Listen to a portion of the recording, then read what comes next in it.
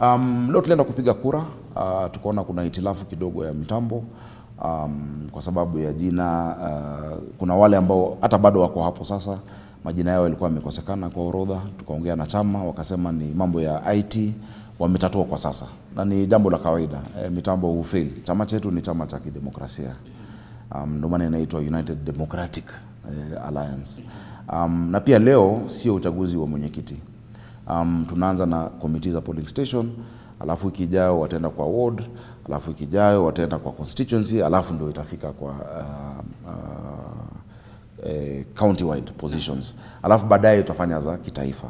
So ni series na leo ndio ya kwanza katika eh, taifa nzima. Najua ni, ni, ni kazi kubwa. Nimekuwa mwenyekiti wa chama wa kitaifa, najua sio kazi rahisi kupanga eh, eh, kupiga kura kama ABC bila hizo rasilimali ambazo ABC iko nayo. Um, it is, it is a logistical nightmare unajua, so nawaelewa na sijaona kama ni kama kuna mchezo.